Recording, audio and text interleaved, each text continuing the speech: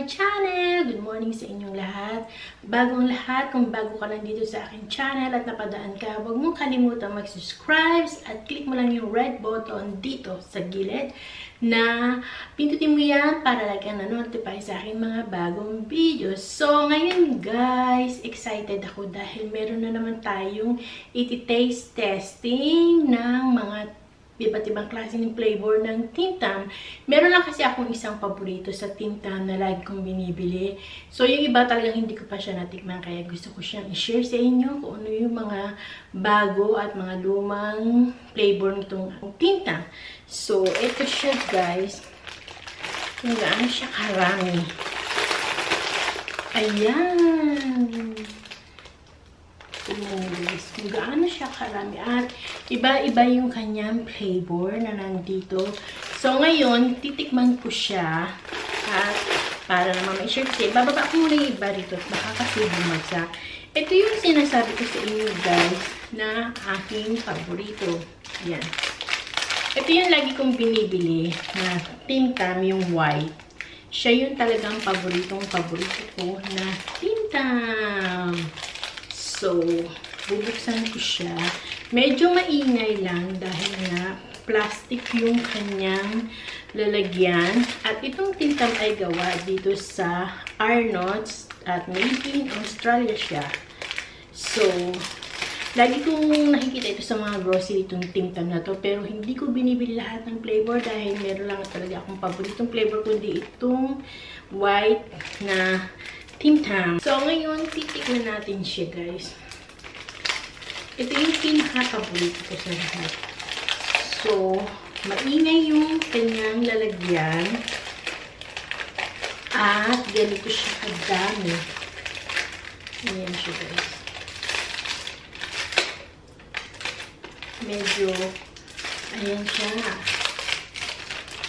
Ayan ang ating tintam. So, itong tintam guys, eh, biscuit siya na may coated na iba't ibang klaseng flavor ng ating bawat tintam. So, ito is white tintam na chocolate. Ayan siya. Ayan siya guys. White siya. Coated siya ng white chocolate. So, ngayon, titikman natin siya. Mmm! Talaga napakasarap itong white Tim Tam na to. Ayan siya, guys. Kung nakikita nyo, meron siyang peeling dito ng white. Diyan sa gitna. At coated siya ng white chocolate. So, ito nga pala ay bali 9 silang lahat. Yung isa natikman ko na. So, yun guys, natikman ko na itong uh, white na Tim Tam. At ang i-share ko naman sa inyo ay itong Choco Mint. Yan. Ito, ngayon ko lang ito matitikman din talaga. Ngayon ko lang din siya nakita doon sa shelves, sa grocery. So, ngayon, titikman ko siya. Hindi ko pa alam kung masarap talaga to. At kung mahilig kayo sa mga mint cookies, tiyak na magugustuhan ninyo ito. Ang bango. Amoy mint talaga siya. So, tignan natin. So, ayan siya guys. Lahat naman ay ganito yung kanilang style na uh, shape. So, ito siya. Kung makikita nyo, coated din siya ng chocolate na dark chocolate siguro to. Tapos yung pinaka-peeling niya sa loob, yun yung choco mint na nandito. Ayan siya. Yan, ganito itong choco mint na ito sa loob. So, titikman natin siya. So, ito na siya guys. Yan. Amoy na amoy mo yung pagka-mint niya. Talaga. Mmm.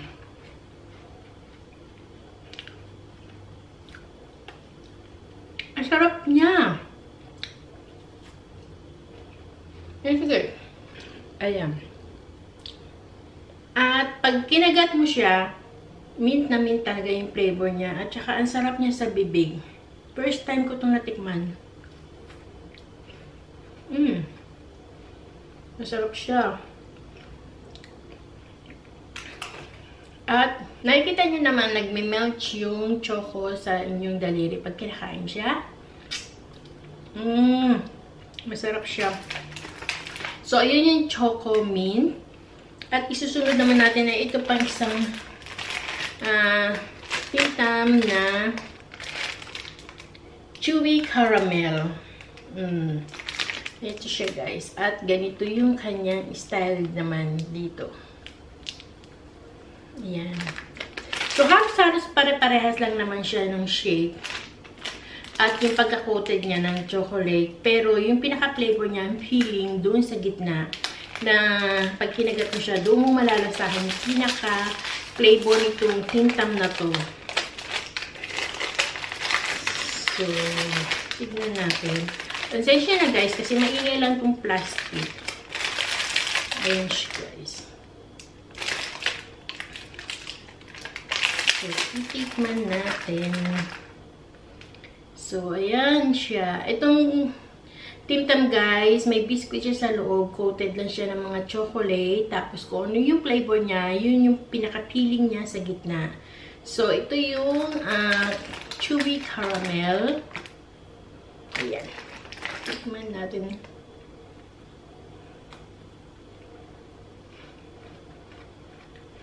Mmm. Masarap din.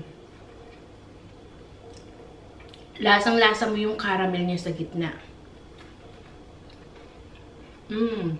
Kahit kasi siya may chocolate dito na coated, yun sa loob, sobrang sarap niya talaga. Ayan siya guys.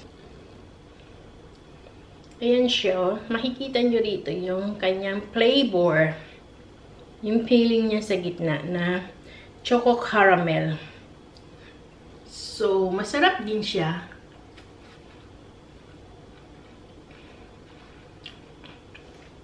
Napaka-chewy ng kanyang caramel sa gitna. Sarap. So, dyan muna siya ulit. At, meron na naman akong chocolate sa aking daliri. Mmm. Ayan yung masarap, di ba? Yung sinisimot mo yung mga chocolate na naiiwan sa daliri mo. So, ang susunod naman natin, ito yung pinaka-original ng Timtam. Original flavor lang siya. Ayan siya. Chocolate na chocolate yung kanyang flavor. So, titikman natin. Lagi nag-sale itong Timtam dito sa grocery namin. Pero ang lagi ko lang na talagang binibili ay yung white. Dahil yun yung pinaka-the best sa akin na talagang paboritong paborito ko. So, ito yung original. Ayan siya. Tikman ulit natin. Ayan, guys. Tikman ko itong uh, pinaka-original niya. Mmm. Napaka-crunchy nitong timtam talaga. Pag kinagat mo siya talagang mapapa... Mmm, kasasarap. Dahil lasang-lasa may coated kaagad sa labas ng chocolate. Tapos yung peeling niya sa loob. Tapos yung biscuit sobrang crunchy. Mmm, sarap. Ayan siya guys. Ayan yung pinaka-original ng Timtan. Chocolate na coated siya sa labas. Tapos dito, sobrang sarap niya. Chocolate din siya na sobrang sarap. Ayan ang kanyang original. Ang sarap nitong original na to. Lalo na kung yan ay nasa rep. Teka guys, hindi ko talaga mapigilan. Sipsipin yung mga naiiwan na chocolate sa daliri ko. Napakasarap niyan lalo na pag nasa rep, malamig siya. Sobrang sarap niya. So, tapos na tayo sa original. At ito, bago rin to siya sa aking paningin sa flavor niya. So guys, ito yung Manuka Honey and Cream. Hindi na-record kanina, namatay yung aking battery. So, ulitin ko lang. So, nabuksan ko na siya at natikman ko na rin nga. At ito na yung kinagat ko kanina. So, ayan siya guys. Yung kanyang uh, gitna. Kung anong itsura, ayan siya guys. Sobrang sarap din niya. Lasang-lasa mo yung kanyang honey at saka yung cream dito sa gitna. So, At amoy talagang honey. Mmm. Mmm. Napaka-crunchy talaga ng Tim Tam. Yung pinaka-biscuit niya, sobrang crunchy. Sarap. Meron pa ako ditong apat na hindi natitikman. Tapos yung lima na buksan ko na, natikman ko na. So, ayan. Ang susunod ko guys, yung itong strawberry coast, ah, Sunshine Coast Strawberry and Cream. Ayan siya, guys. Ang kanyang flavor ng ating tintam na susunod na titikman ngayon. Ito siya. Isa rin to sa mga paborito ko, basta strawberry. Pero, uh, talagang pag tintam, yung white lang talaga. Yung una ko pang natitikman na sobrang nasasarapan ako, kaya lagi ko siyang binibili. So, itong Sunshine Coast Strawberry and Cream. First time ko, ang bango niya strawberry, strawberry talaga yung kanyang amoy. Orange, guys. Lahat naman pag binuksan mo, ganyan. Marami siyang laman hanggang dito. Yan. Hindi ko lang siya hinihila lahat kasi ang hirap niya ibalik pagka nahila ko na. So, yung pinaka-umpisa lang yan ating titikman. Mmm. Ang bango niya strawberry. Ang bango niya guys. Nakaka-addict yung amoy. Amoy candy na basta strawberry siya dahil nga strawberry flavor siya. Mmm! Wow! Mmm! Harap. Lasang-lasa ko talaga yung strawberry.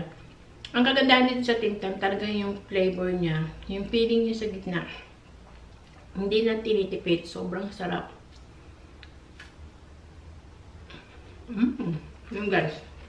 Tignan nyo guys. Ayan. Diba? Ang sarap nitong strawberry. Feeling niya. Cream. Sobrang sarap niya. Ano siya? Sunshine Coast, strawberries, and cream. Kaya naman para sobrang sarap. Mm. Siguro ito yung isa sa i-add ko ngayon na timtam na flavor na magugustuhan ko. Strawberry. Mm. Dahil mahilig ako sa strawberry. So, dyan muna siya. Mm. At meron ditong dark na ch chocolate. Yan siya dark. Real chocolate. Ayan siya guys. Andito titikman na natin itong dark flavor. Ngayon ko lang din ito matitikman. Sobrang mukhang dark na dark nga ang kanyang ano. Ang bango ng tintang pagka binubuksan. Grabe. Yung talagang parang maaadi ka siyang kainin lahat, maubusin. So, ayan siya guys. Mmm. Masarap! Kahit dark chocolate siya, hindi siya mapait. Kasi ibang dark chocolate na coated, di ba, sa mga ibang chocolate, mapait. Pero ito hindi. Sarap. Tingnan guys. Ganyan ang itsura niya. Ayan. O, di ba? Cho chocolate coated siya, tapos biscuit diyan sa mga gitas. Yung pinakagitna niya. Ang sarap. Ang sarap niya. Hindi siya mapait. Sarap. Meron na lang tayong dalawa dito. At sobrang sarap nitong timtam ng mga flavor. Ngayon ko lang siya natikman. Kasi nga, hindi ko naman siya talaga madalas bilihin yung mga flavor na to. Gaya na sinasabi ko lagi, ito lang white yung pinaka-favorite ko talaga. Pero ngayon, marami na akong nagugustuhan. Uh, pwede kong bilihin ulit sa susunod. At ito. Ito yung ah, Gisborne Orange and Dark Choco. Gisborne. Ito guys, ayan siya. Ayan no, kung mababasa niya. Ayan. Mukhang masarap din to. Tambang mo ng kanyang amoy. Lahat naman. Ay, pero ito kakaiba. Uy, ang sarap ha. Orange na orange ang kanyang amoy. Oh, ayan siya guys. Tikman natin. Excited tuloy akong tikman to.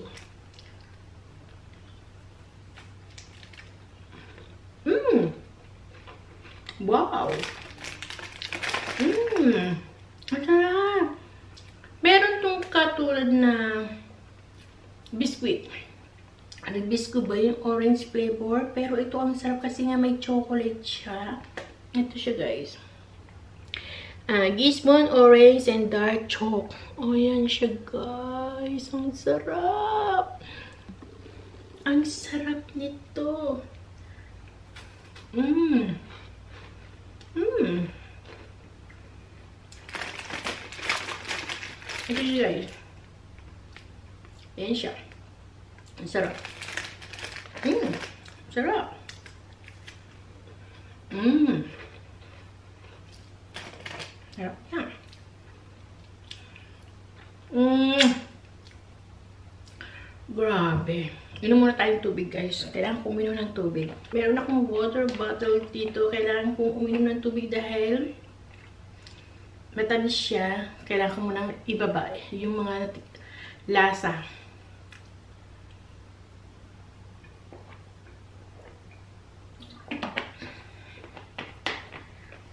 Sobra. Ang sarap. Ang last one. Ito. Double coat. Ayan siya, guys. Double coat with irresistible real chocolate naman siya. So, ayan. Tikman natin. Ito na yung pinakalas.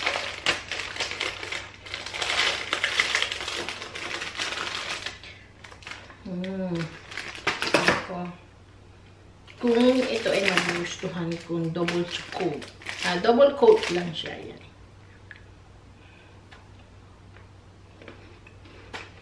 Mmm.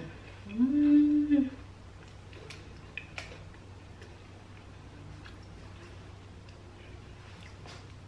Sarap niya. Mmm. Sarap.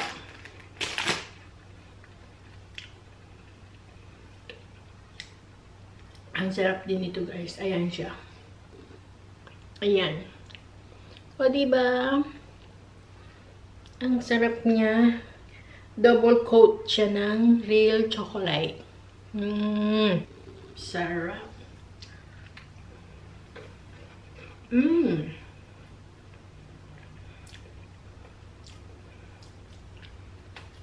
Mmm. At ito na naman yung aking kamay. May daliri. Mayroon nakadikit. Mmm.